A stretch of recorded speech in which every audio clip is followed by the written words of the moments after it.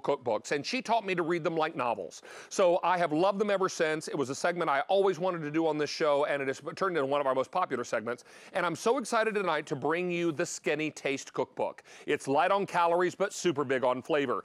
Now, our author is a very special lady, Gina Homolka. Yes, thank you.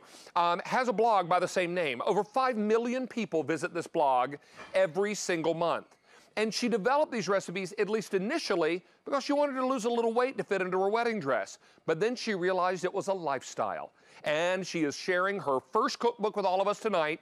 Already super popular, 150 recipes, nutritional value with every single one. Ladies and gentlemen, Let's make her feel welcome. Gina Homolka is here. Hello, my friend. Hi, David. Nice Thank to you see so much for having me. Congratulations on your new book. Thank you. So exciting. And I'll tell you, one of the things that we all struggle with in the kitchen. Now, I love to cook full fat, full sugar sometimes, but I also love to do things that are lighter. But I hesitate sometimes with a lighter recipe because it's not always great on flavor. Right. You've really learned to crack the code and bring us great food that is lighter and fair, but really super high in flavor. Yeah, I mean, I feel like if, if it doesn't taste great and it's just low in calories, no one's going to eat it. So for me, having great flavor is crucial. Exactly. Well, you were on during Jill's show earlier Yes. tonight, and between that presentation and already during In the Kitchen with David, we have taken orders now for the day of over, checking, over 4,200 Wow. books are gone. This is our brand new cookbook, you guys. Unbelievable. And your very first time on QVC ever, and you're doing an awesome job. Thank Look at you. you. All right. So let's get in uh, because, you know, life is short. Eat macaroni and cheese first. Yes. You did a lightened version of mac and cheese, but you also included my favorite vegetable, broccoli. Yes, I put broccoli in it and it's, it's baked in the oven. It's got Parmesan cheese on top and breadcrumbs. Ooh. But if you don't like broccoli, you can put any vegetable that your family likes. Sometimes I make it with spinach. Sometimes I put cauliflower. Yum. And it's so cheesy It and smells creamy. amazing. and- So you just backed up the fat, made this a little lighter, Yeah, is that right? exactly. Okay, Tell let me you grab a think. fork here. Macaroni and cheese. I One of my love it. daughter's favorites. Is so- that right? How old's your little one? My little one's four, gonna be five. Oh, bless so her heart. Thank you. So I, I have to mm. make my food taste good for her. Oh, come on. What do you think? It's amazing. Thank this is awesome. Mmm. It's so creamy, and I don't miss any of that no, extra you fat. don't miss it. It still has great flavor and it's warm and comforting. It's Mm. like the ultimate comfort food. Without a doubt. Oh, please, you're, you're, pre- you're preaching to the choir. All right, so here we go. Let's move in. And you also have a lightened version of a fried chicken. Yes. This is pretty amazing because it's not fried, although it looks fried. Exactly. Fried chicken is my biggest weakness. So this chicken, I removed the skin and I brined it overnight in buttermilk.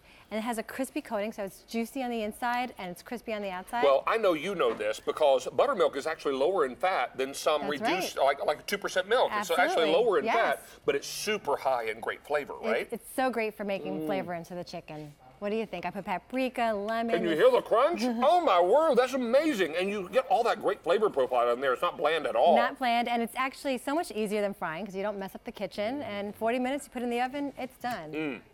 Perfect. Now let's talk desserts. Okay. You have some kind of delicious chocolate goodness Yeah, right here. Talk so to us about my this. daughter loves chocolate chip cookies. So these chocolate chip cookies actually have no butter. Instead, butter? No butter. So instead, I replaced the butter with healthy fats. with It's mashed avocado. But I swear you can't tell. My daughter has no idea. She eats these all the time. All They're right. chewy and chocolatey and delicious. Tell me what you think. Oh my goodness, you guys! I, I have, Don't think this tastes like guacamole. It does not. no. All you did is you you achieve that wonderful It- creaminess of the so creamy, avocado, right. And the chocolate is such a strong flavor. you don't Yes, taste there's the cocoa avocado. powder, there's chunks of chocolate, there's walnuts. If you don't, Mm. if your kids don't like walnuts or you can't have nuts, you can just put more chocolate in it. But there's still that you feel good help feeding your kids because it's healthier and light. Tell us about your noodleless lasagna. Okay, so this is a zucchini lasagna. So I replaced the pasta with thin strips of zucchini, but it has a meat sauce and it's very cheesy and it's got an amazing marinara sauce. So it tastes just like a lasagna without the pasta. So you're really cutting way back on oh, the you're carbs really with this cutting one. so many carbs on this. Mm. What do you think? Uh huh. Uh huh. Right? Hold this, please. Time for the happy dance. There it is. Come on, come on, get it, get it. That's comfort food, Isn't you guys. that comfort food? Mm. It's such a great dish. Let me also show this gorgeous book to everyone that I know you've been working so hard on. This is an amazing book. Now, the book is really extraordinary because every single recipe comes with nutritionals. Yes. You have a whole chapter or a whole area of the book where you can cook meals in 30 minutes or less. Yes. There's also a freezer-friendly That's right. uh, grouping of recipes, gluten-free recipes in the book as well. Mary, you got that gluten-free?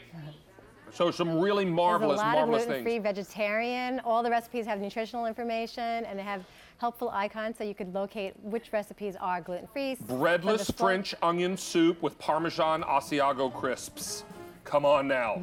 This is amazing. Everybody is grabbing this book. I will tell you, we are busy on our phone lines. Don't miss out on this opportunity. Gorgeous, delicious, favorite foods that are all lighter and fair, all thanks to our marvelous friend Gina. And is our audience eating something delicious? Are you eating from Gina's book? They're all having your mac and cheese, which is awesome, and it's delicious. Great. Gina, thank you Thank so you much. so what much a pleasure to have me. you here Thank tonight. you. Such an exciting night.